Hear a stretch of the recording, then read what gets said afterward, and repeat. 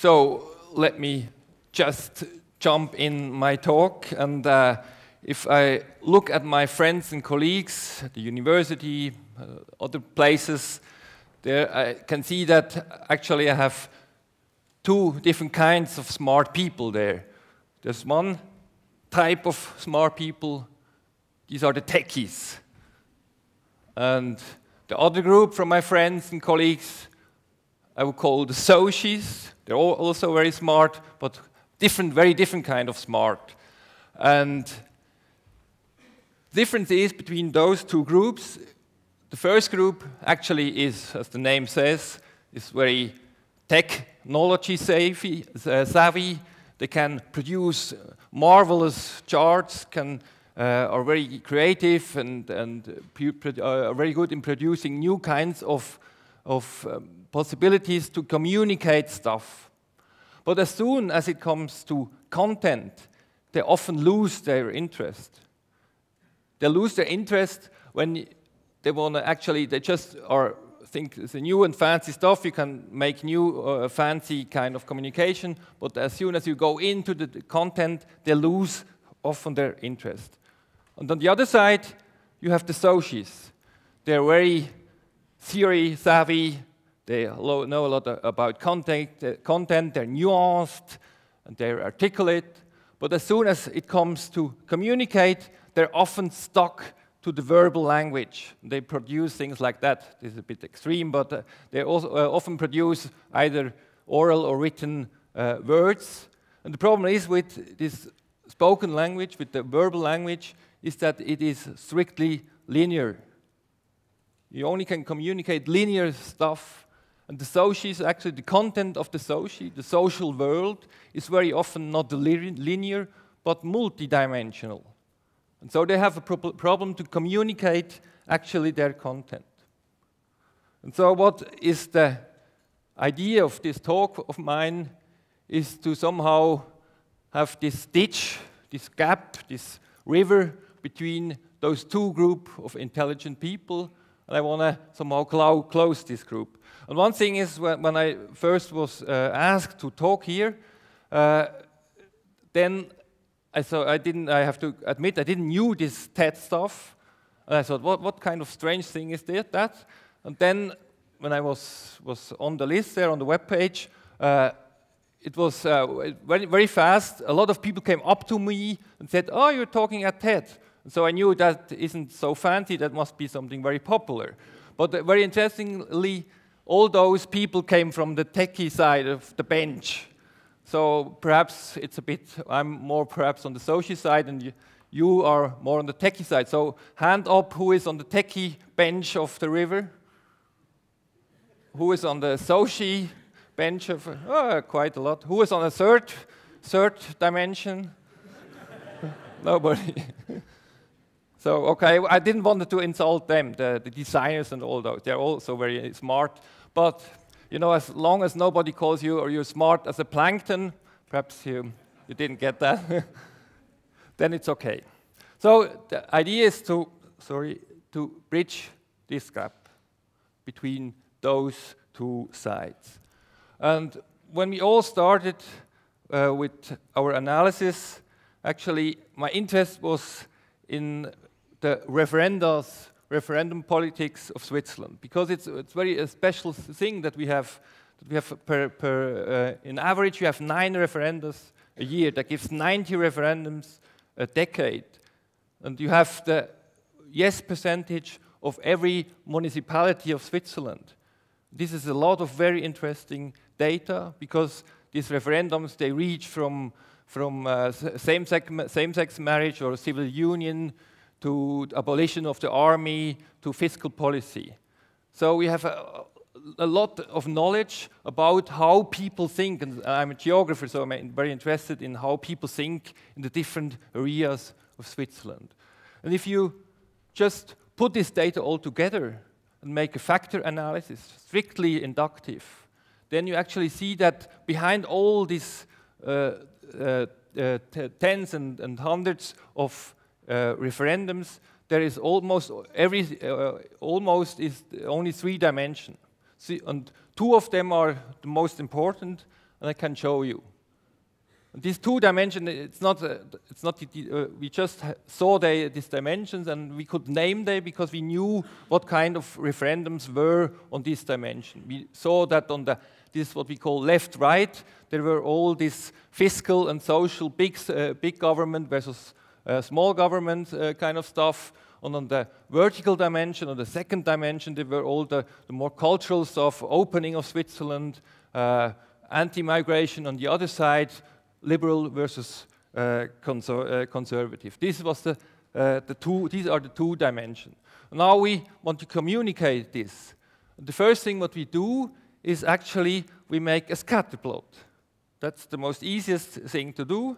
And what you see, you don't see a lot if you just make a scatter plot.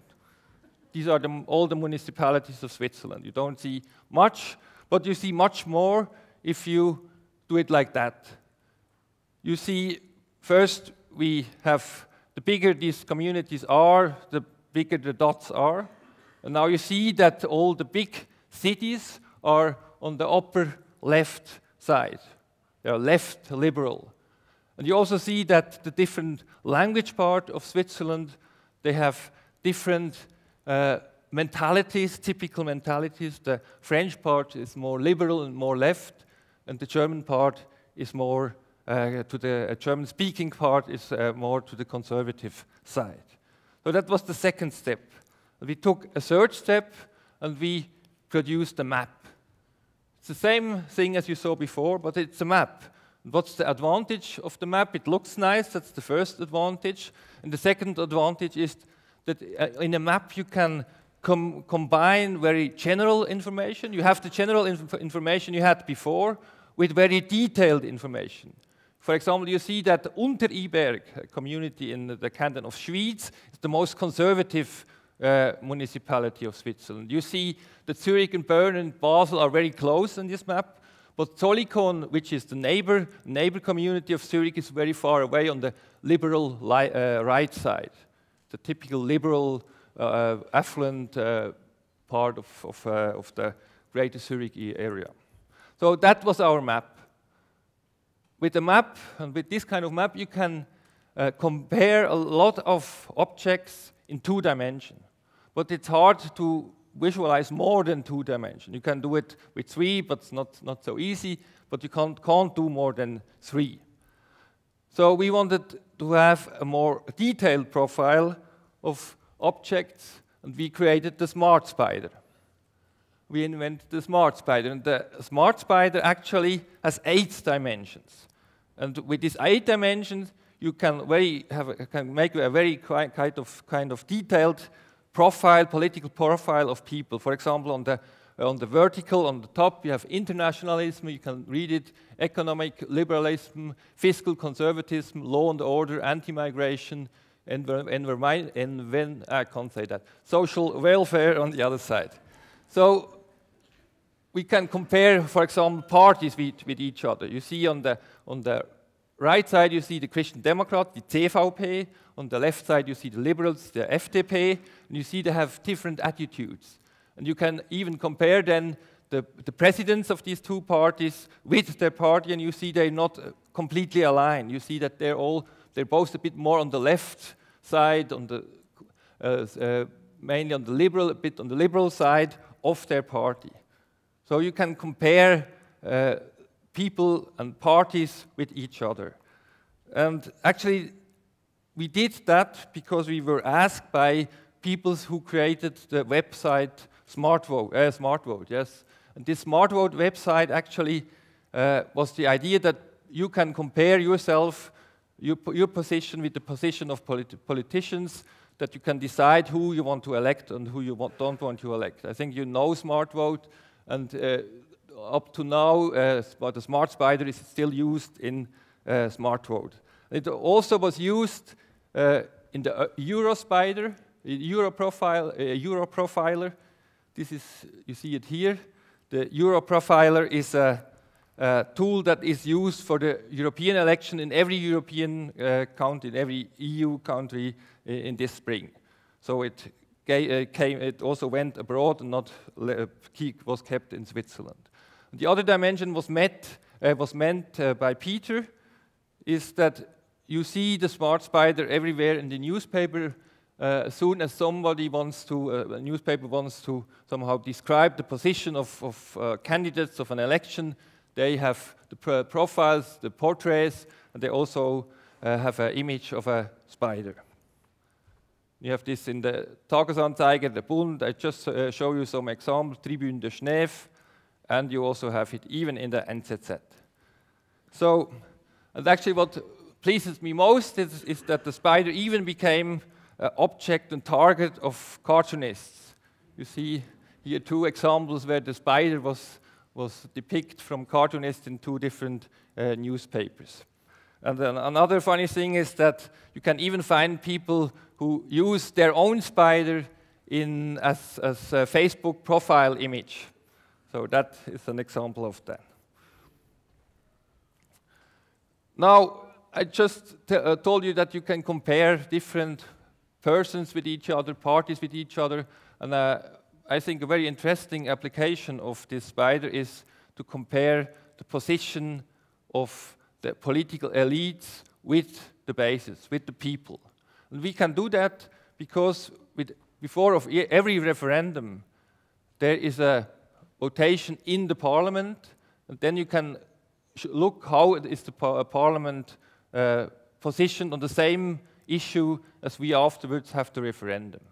And then you can, for every of those dimensions, you can uh, compare or, or, or, or count the gap between the elites and the basis, between the elites and the people. And you see here which kind of dimensions, on which kind of dimensions there is a big gap, and on which kind of dimension there is a small gap.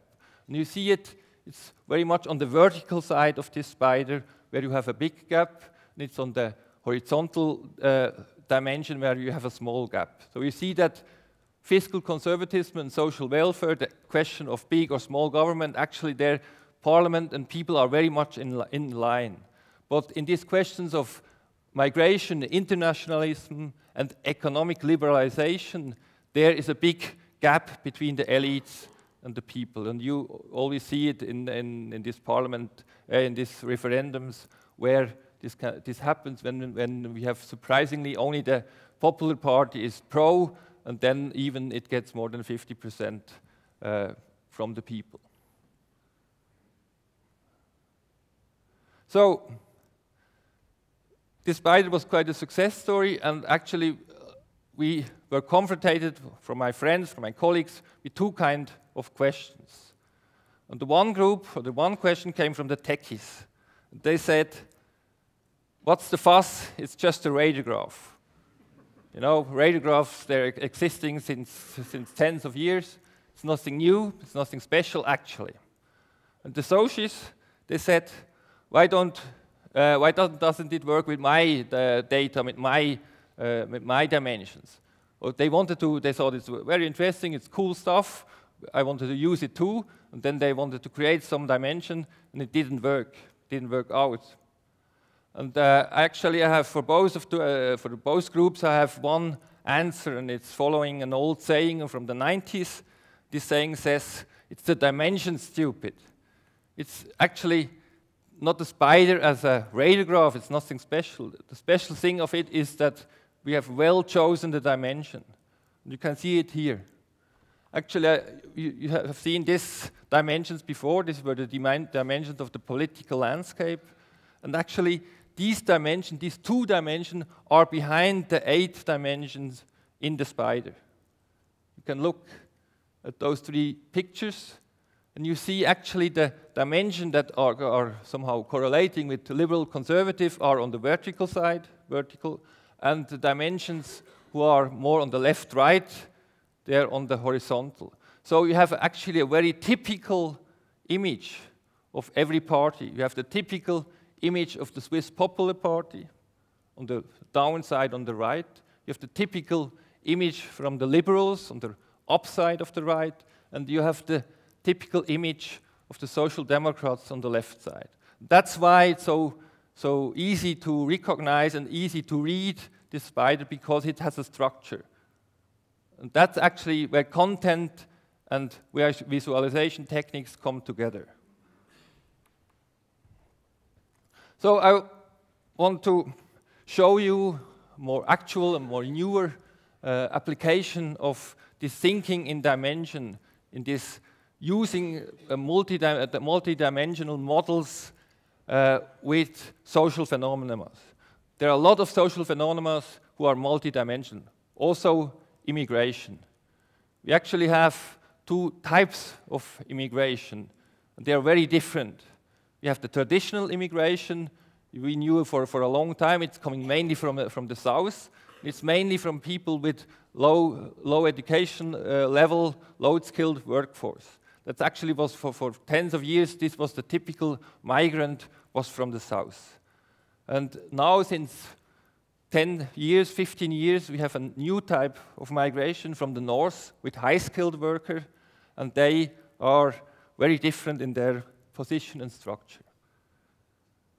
And these are two dimensions, and we wanted to depict it in two dimensions. What you he see here is the percentage of the new type of migration in the horizontal, uh, the old type in the horizontal, and the new type in the vertical dimension. You see, for example, Dietikon is a typical working class uh, city, small city in the Limmatal. It actually has a traditionally a very high percentage, high share of old type migration. Kreuzlingen also, uh, for example, Zug and Baden, they have much less of them, then have a bit more of the new type of a migration. So I want to share with you for the almost end of my talk uh, Hans Rosling moment and show how this changed over time.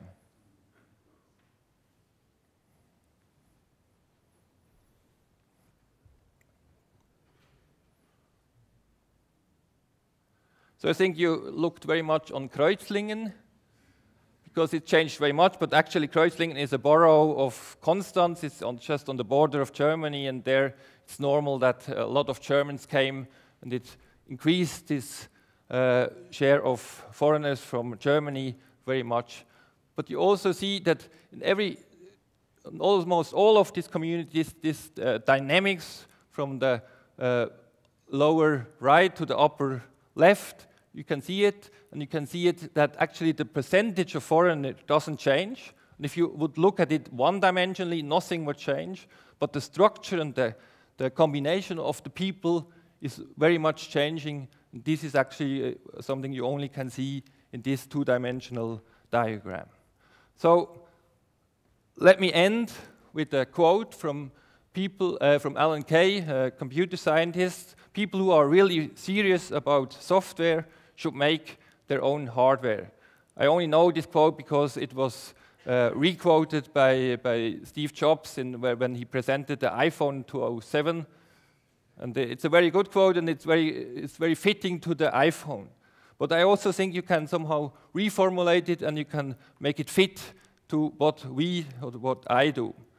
People who are really serious about content should make their own visualizations, and vice versa. So actually, you just can't only bridge this stick, you have to walk the walk, and you have to, for yourself, go from one side to the other that you can reach this uh, aim. Thank you very much.